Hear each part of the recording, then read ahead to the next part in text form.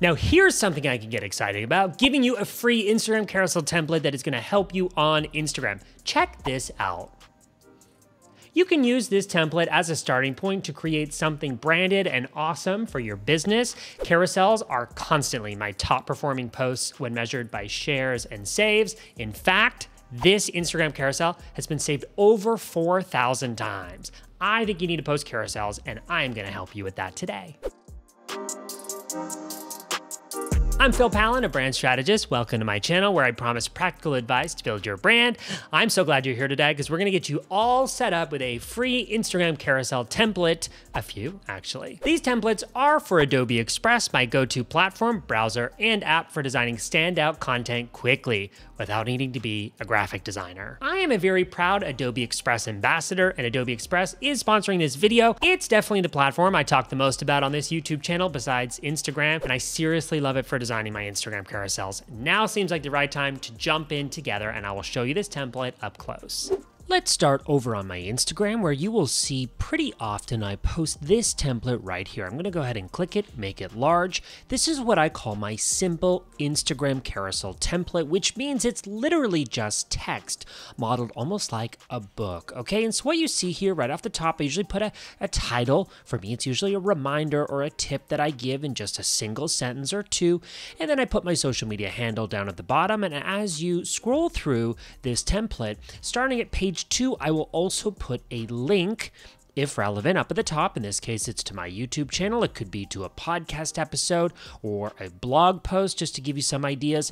And basically, what I do is when I get the styling right on one carousel image, I click duplicate and then I just change the content pretty much in the middle until I arrive at this very last uh, slide that you see right here, which is a different color and it is a call to action I'm basically asking my subscriber, or my, in this case, an Instagram follower uh, or viewer, in this case, if they're not a follower, to do something. In this case, the call to action is to go to my YouTube channel for more information. So now let's take a closer look at the template that you can see here.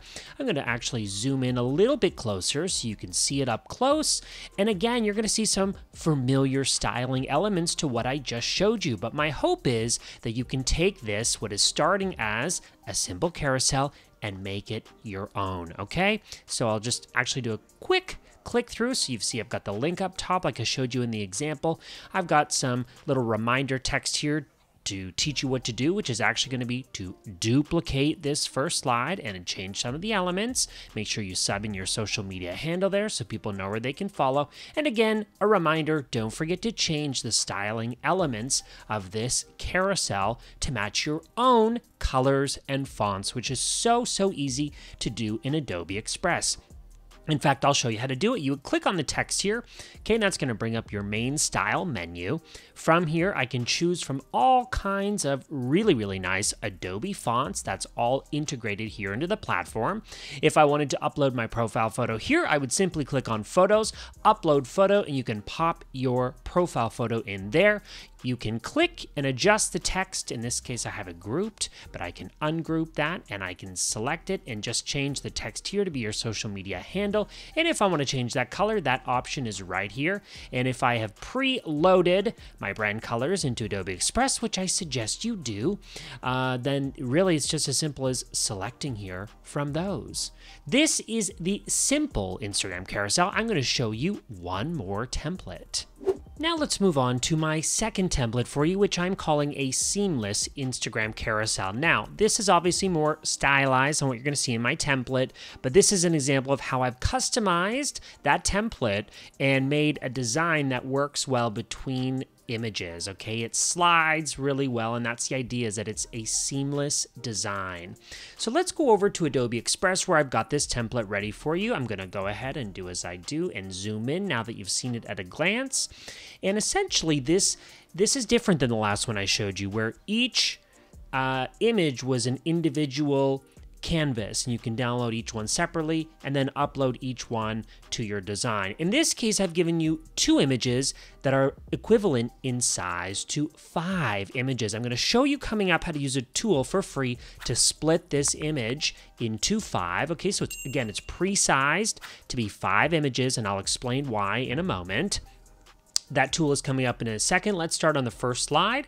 Even though the background here is all white, I have sectioned it off in squares so that you can click the background and at least see the rough perimeter, okay, of where this image is gonna break. This is sized to be perfectly square for when you upload on Instagram. Again, if I click that second slide, you'll see here the background um, is showing you roughly where that carousel will break. The reason that this is a single seamless image is have a look at this parrot. If it was separate, it would be extremely hard to line up this artwork between both canvases if they were different uh, canvases or images. So in this case, uh, I'm assuming that you're going to create a carousel that's at least five slides. Five is probably the minimum, I might say, and 10 is definitely the maximum. That's what's allowed on Instagram. So again, by setting up your template this way, we're able to have graphic elements. There are lots of great, by the way, design assets here in Adobe Express for you to explore. This way, they don't have to be perfectly between them, so you know how to line them up if on separate canvases, but instead you can just really focus on getting a great design. So I've actually given you prompts along the bottom of generally what should go on each slide. So let's start with obviously the title, your social media handle. Here we want to introduce the topic on this first slide. If there's a link, you can give it. Here we want to provide context on this slide, and, and, certainly a visual can help here with that. This is a stock photo and, uh, from the Adobe Stock Collection that I grabbed here. Just by clicking Photos and actually typing in the word carousel, since that's what I'm talking about, and I found this great one that I thought looked awesome. You can pop in an image here again. I've made it easy for you. If you want to keep it in the same dimensions, you can click this and click Replace and just put in your own image there. So moving on to slide three, we want to provide value here. Okay, we can have a seamless little image that goes between both carousels, uh, carousel images. That's going to make it exciting. And then you want to continue to give us more value. Let me move on to the second image. Now this will complete 10 total slides. You don't need to use all of them. If there's some that you want to get rid of, you can just leave them blank and delete them before you upload them. So here teach me something on this slides. In this case, I'm saying three reasons why you should be on carousels or why you should be posting carousels rather. Make them buy in on this slide. So I say Carousels are my best performing content. My top carousel has over 11,000 saves. That is true. Here, uh, I'm just kind of giving the final instructions. As I say here, we're nearing the end. So summarize your point on these final slides. Um, as I told you, it will download this design as two separate images that are the length of five Instagram images side by side. Okay. And when I actually show you this tool here now in a moment, it will separate them for you, crop them in one action as five separate separate images, and then you will be ready to post this on social media. You can put a link here or put a final call to action as well, your social media handle and your profile photo. To do that, as I showed you, I'll show you quickly. You would just click upload photo. And of course, you want to apply your brand to this design. Don't just keep it my brand, fonts and colors. You want to apply your own. The final thing I'm going to show you is where that link on that carousel is going to take you. The link is philp.al slash split. And what you'll do here is those final downloaded graphics from Adobe Express, you'll upload each one just like this. You'll get a little preview of that. Very important here under options, how to split the image. You the default will be vertical, but you want to select horizontally here. And then of course, because we've got five images, change that value to five. The final step here is to just select split image and in just a moment, it will literally generate those for you. You can download them in a single click by clicking this zipped file, or you can download them individually. I will, for this example, just download one image so you can see how that image looks as it would be cropped, just like that. So there you have it. That is the seamless carousel. Now you have a simple carousel template and a seamless carousel template. So there you have it, Instagram carousel templates for Adobe Express. I'm a fan of this tool and format, and I'm excited about all the possibilities for you to create something awesome from these.